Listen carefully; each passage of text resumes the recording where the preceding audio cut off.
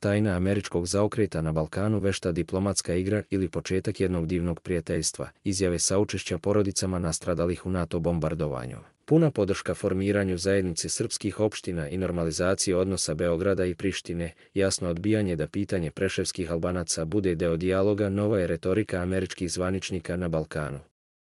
Oni u posljednje vreme čak više i ne pominju međusobno priznanje, što već mjesecima izaziva negodovanje u Prištini.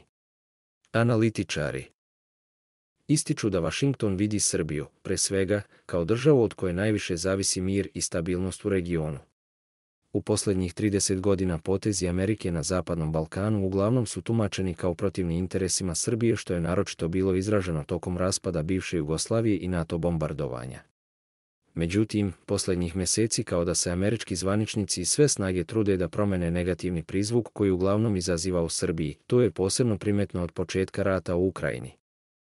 I ponovnog dolaska na ambasadorsko mesto u Beogradu Kristofera Hila koji je tu funkciju već obavljao u Srbiji koji je krajem 90. godina bio specijalni američki izaslanik za Kosovo i predstavnik tipične buldožer diplomatije Vašingtona.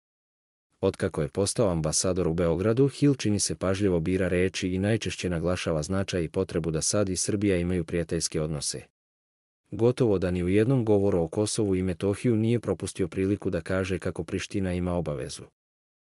Da formira zajednicu srpskih opština i ispoštuje briselski sporazum na godišnjicu bombardovanja otišao je Hill i korak dalje u pokušaju da unapredi odnose Amerike i Srbije, pa je verovatno prvi američki zvaničnik koji se maltene pokajao zbog NATO bombardovanja 99. godine.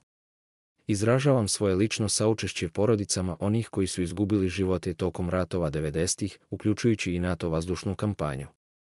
Znam da srpski narod nikada neće zaboraviti to strašno vreme niti treba. Narod Srbije ne može da potisne svoju bol, ali verujem da ima dovoljno snage da potisne svoje ogorčenje. Posvećenost Amerike našem partnerstvu sa Srbijom je nepokolebljiva, kao i naša posvećenost demokratiji.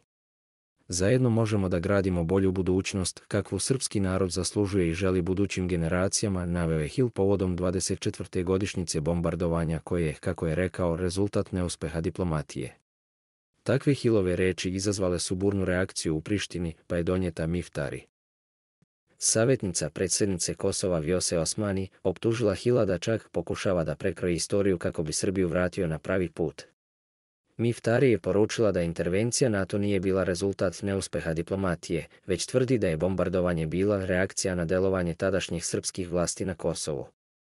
Također Hill ne propušta priliku da podrži Ohridski sporazum i zanimljivo je, sve vreme priča o normalizaciji odnosa Beograda i Prištine, a ne međusobnom priznanju.